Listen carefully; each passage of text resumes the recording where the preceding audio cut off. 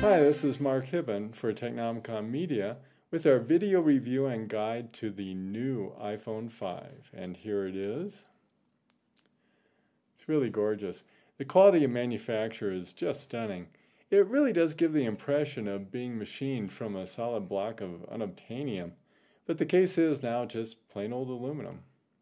In this review and guide, we'll explore the performance of the new iPhone both in benchmark tests and the kind of real-life performance tests that we do such as application launching and web browsing. We'll also look at the usefulness of the phone for work and play, trying out iWork as we did last year in our iPhone 4S review, as well as checking out some of our favorite games on AirPlay. We'll also look at some issues that cropped up with AirPlay performance and of course, we'll look at the new Apple Maps. Uh, although Maps is uh, far from flawless, uh, we'll try to put matters in perspective by comparing with other mapping programs, as well as offer users some mapping alternatives for iOS 6 devices. Let's start by looking at the features of the new iPhone 5.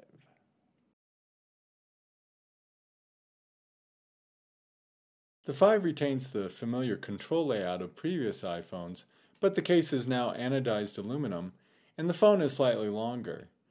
The back of the phone is aluminum, except for a pair of glass inlays at the top and bottom. The screen is now 4 inch diagonal with a pixel resolution of 1136 by 640. Apple is sticking with LCD display technology for now, and the screen sharpness and contrast are the best you can get using LCDs. Some users have complained about scratches appearing on the iPhone 5 case. Anodized aluminum is now used for the cases of all the current generation iPods and iPhones and provides a variety of color options, but anodizing is not particularly scratch resistant. We've noticed minor dings and abrasion already appearing on our black and slate version of the 5. These would be much less noticeable on the silver white version and we recommend this color combo for prospective iPhone 5 owners who are concerned about scratches. One nice feature of the 5 is the inclusion of Apple's new EarPods. I can't tell any difference in audio quality compared to the best in-ear phones, but the new phones are noticeably more comfortable to wear for long periods. This seems to be due to the fact that the EarPods produce great bass response without needing a tight seal in the ear canal, so they can be worn loosely in the ear. EarPods also come with a built-in microphone, which uh, may help with speech recognition in noisy environments. Now, one of the significant changes to iPhone is the smaller, simpler Lightning connector, which replaces the traditional 30-pin docking connector. At the other end of the cable is just a plain old USB connector, as you can see right here. Here's the lightning connector. Now I'm sure lightning is an improvement in durability over the 30 pin connector and it's impossible to insert backwards. However, the lightning adapter that Apple plans to ship soon won't be compatible with the digital AV adapter that has been available for HD video output from iPads and iPhones. And here's that little digital AV adapter right here. This leaves Apple TV as the only currently available option for HD video output from iPhone 5.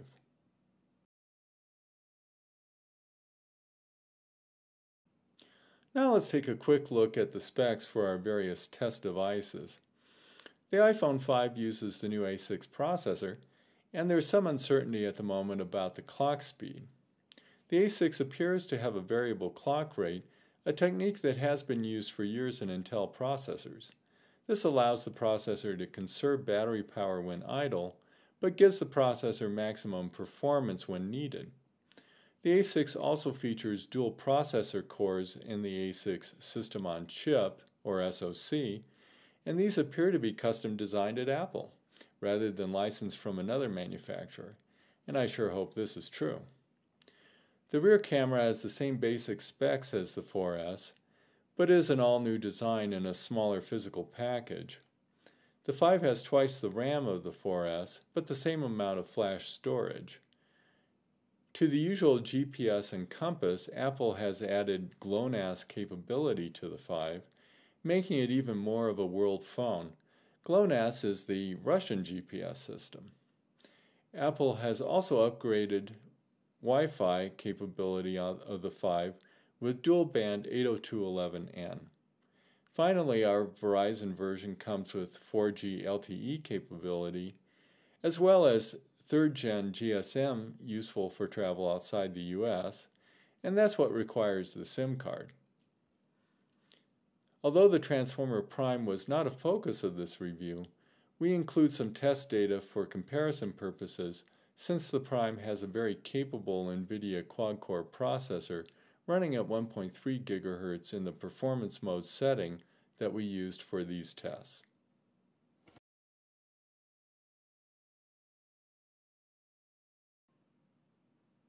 A great deal has been made of the faster A6 processor in the iPhone 5, and in benchmarks, the 5 does test out considerably faster than previous iPhones or even iPads. In our real-life testing, the performance advantage doesn't appear that great, so let's start with the real-life tests. In the application launching tests, no other apps are running in the background, and we measure launch time by counting frames in the video recordings. First we try Google Earth.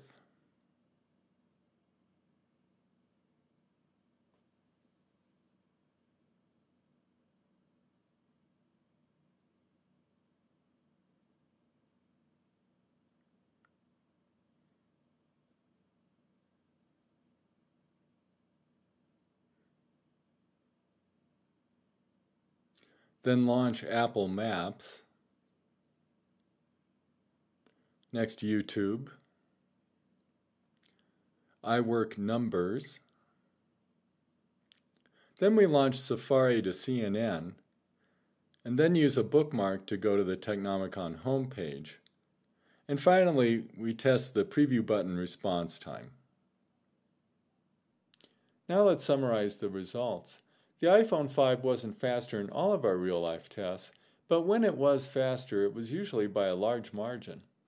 Speedtest X measures network download and upload speeds, and we perform these tests using our 802.11n network as well as over cellular. The 5 features Verizon LTE, which offers a factor of 10 improvement over the 4S in download speed, and was actually faster than our wired high-speed internet which was maxed out by the iPhone 5. In the benchmarks, the 5 lived up to its reputation, easily besting all comers, sometimes by a factor of 2 or more.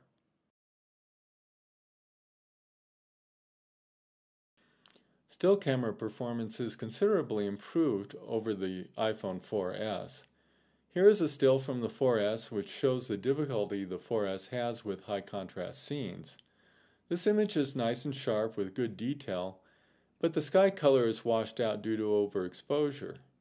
The same scene imaged by the 5 shows the true color of the sky, but doesn't lose detail in darker portions of the image. The camera autofocus on the 5 also works very well for close subjects, whereas the 4S had difficulty getting the image in focus. In 1080p video, the differences between the phones are much less noticeable.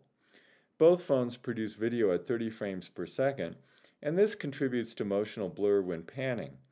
It seems to me that the 5 produces less blur than the 4S, but both phones produce more than a consumer camcorder, the Panasonic HDC TM90, which we show for comparison purposes, and which records 1080p video at 60 frames per second. The Panasonic also uses optical image stabilization rather than image processing alone to remove camera shake, which also helps reduce blur. Although phone video cameras are good, they still aren't quite up to the level of a good HD camcorder.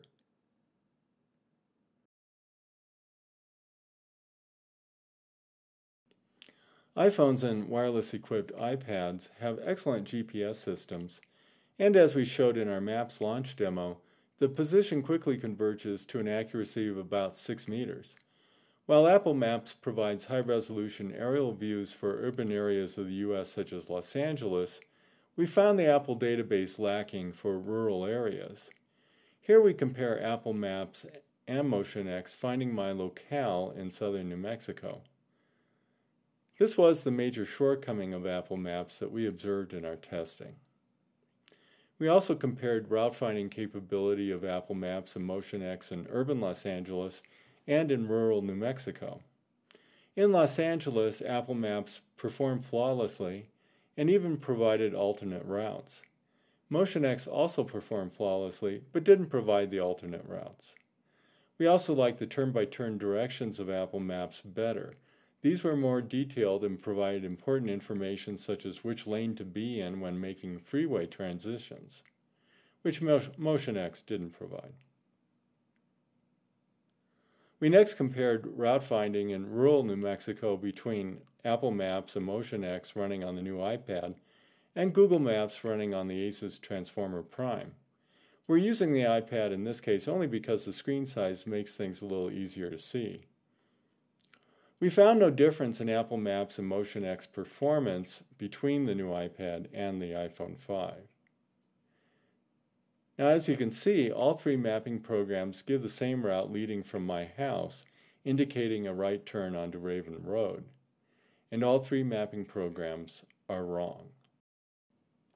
Now what I'd like to do is take us outside for a moment to show you why turning down Raven Road is such a bad idea.